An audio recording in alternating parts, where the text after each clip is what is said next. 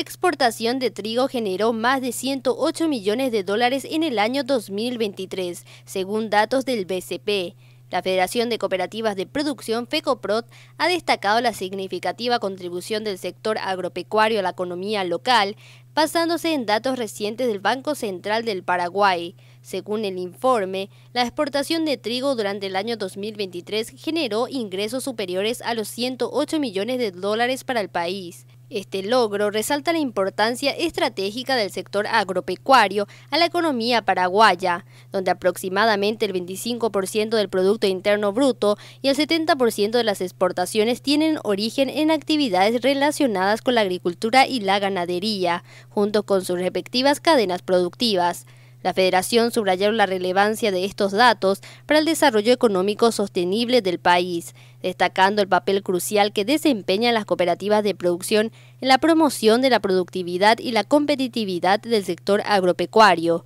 Estos resultados positivos reflejan no solo el potencial productivo del trigo en Paraguay, sino también la capacidad del país para competir en los mercados internacionales y generar divisas para fortalecer la economía nacional. RCC Noticias llega gracias a